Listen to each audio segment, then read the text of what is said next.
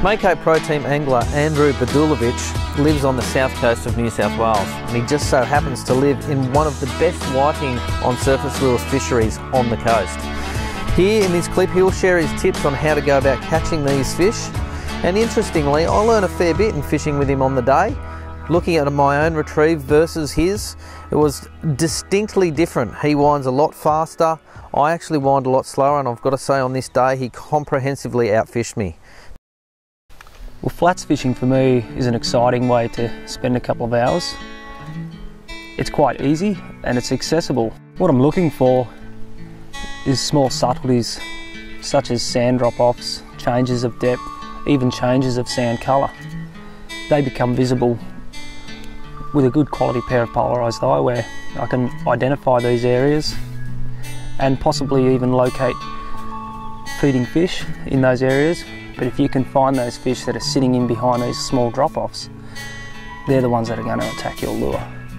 My lure of choice when I fish the flats is a surface lure, basically because we're fishing shallow water, so everything that lives in that shallow water is going to be able to see it.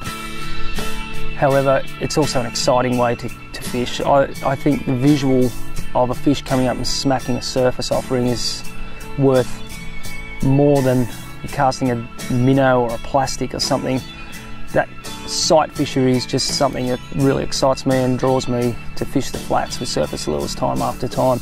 I never get sick of seeing a fish come up and belt a lure off the top. I generally opt for a longer rod, which will aid cast distance. Cast distance is vital on the flats, but I like a really light sort of rod. I'd like a rod about seven foot six in length with a line rating about one to two kilo.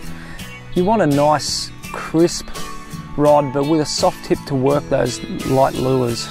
I like to wind the lure quite quickly to get a reaction.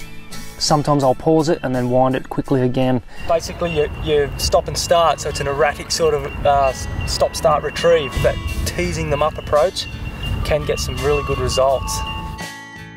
I like to use braid to really get that lure working. I think the braid brings that lure to life better than just mono straight through. I, I actually like to snap that lure through the water aggressively and sometimes and quite often pause the lure and then snap it aggressively again. So it's an erratic skidder. Without a pair of sunglasses with good polarizing qualities, you just can't fish successfully. There's a lot of hit and miss, but a lot of those fish that I'm hooking, I'm actually seeing them follow the lure and I'm teasing them into eating that offering.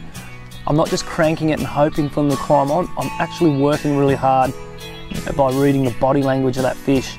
I can tell when it's lit up and it's going to eat, or I can tell when it doesn't want to eat it, it's just curious.